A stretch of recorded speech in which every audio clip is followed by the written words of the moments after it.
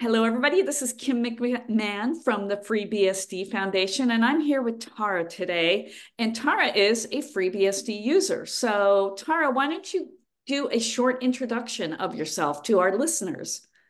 Okay, so I'm um, I live between London and Milan, so this is most this most strangest thing about me. I'm a distinguished architect, so I usually build. Uh, architectures for large data centers on virtualization and containerization.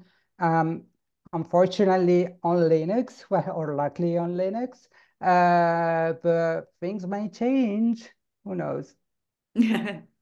Excellent. Well, thank you. So, um, I met you at a recent conference, and you were telling me very uh, how excited you are, and you that you are a FreeBSD user. So, can you tell me a little more about how you found FreeBSD and why you started using it?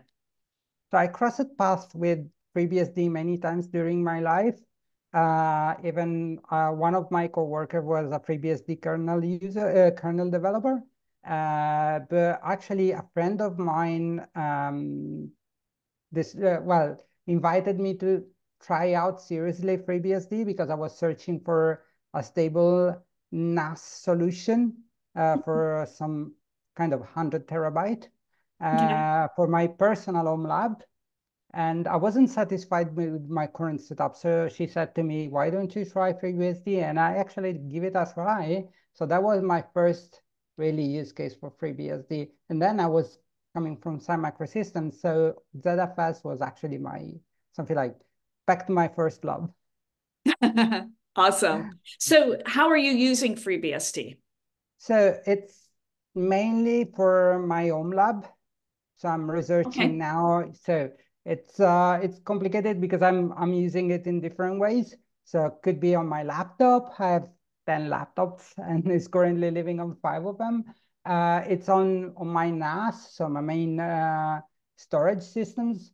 And also I'm experimenting with new technologies. So for example, um, I am experimenting with building pipelines, uh, OCI containers with Podman, or my next experiment will be on uh, EVPNs with VXLANs and JLAN 5. So to be able to kind of creating a small provider in my house and see if it, the things I'm doing now with Linux are feasible on FreeBSD for proposing to customers.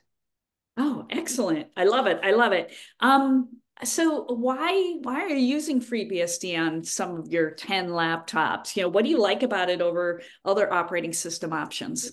So simplicity, first of all. I mm -hmm. like the neat approach of FreeBSD. So I immediately kind of fell in love with it.